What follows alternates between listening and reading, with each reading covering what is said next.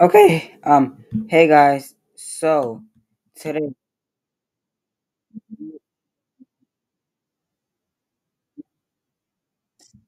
Okay. So I like the movie, and okay, but like, I actually I'm not really into the lore, so I don't really know much about it.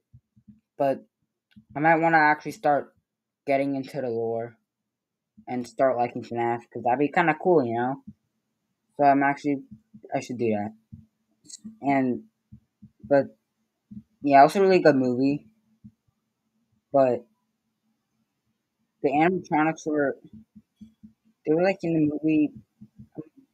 They were like there were some parts without them, which is look. That's not what I mean. Like I don't know how to say this, but there were a lot of parts without them, which it doesn't really make sense because that's not really the point of the movie.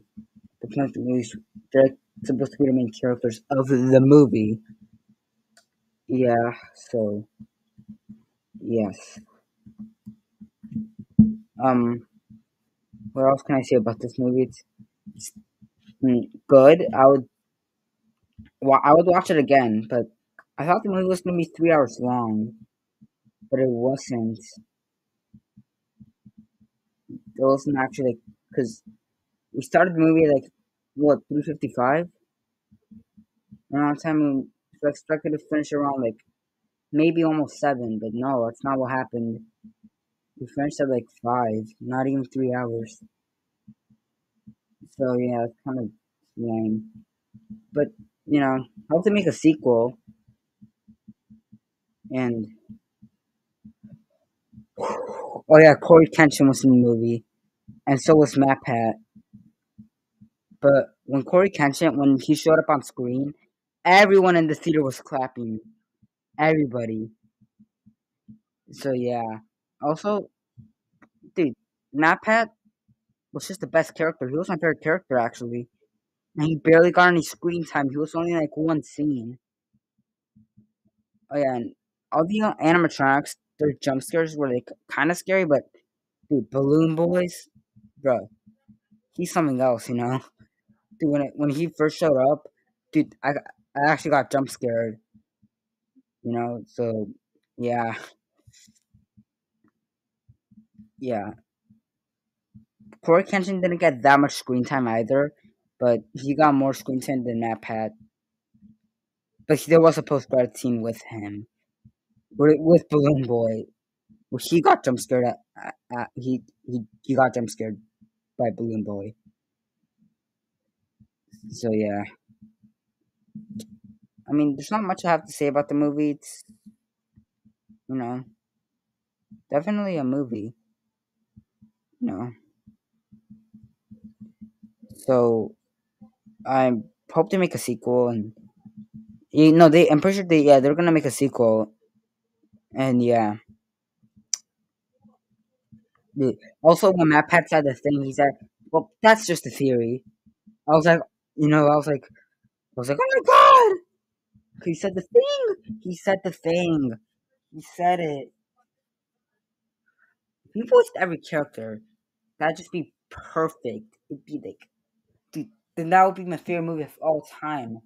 If MatPat voiced all the characters. Sorry, I had to cut. There was an ad. I didn't want to get a copyright strike. Anyways, back to the movie. Matt if Matt just voiced all the characters, all of them, who, except for Cory Kenshin, obviously, because that, because Cory Kenshin's Cory Kenshin, then that would be the, the best movie ever. I would rate it a, a like an hundred out of ten. Because you know, because Matt like the best. But you know, Markiplier for some reason we all thought Mark Markiplier was going to be in the movie, but no, he wasn't in the movie. But yeah, great movie, great movie. I liked it. But the guy, the main character, Mike, dude, he was such an idiot. Like, bro. And the and Abby, his um younger sister, which by the way I thought was his daughter, which is because I, I don't I don't know what I mean because I mean it just kind of makes sense. But anyways, yeah, I kind of want Abby to die. If that happened, that, that would be awesome. I really wanted her to die. Like I saw the trailers, I thought she was gonna die, but no, she didn't. She didn't. She didn't die. So yeah. Ugh.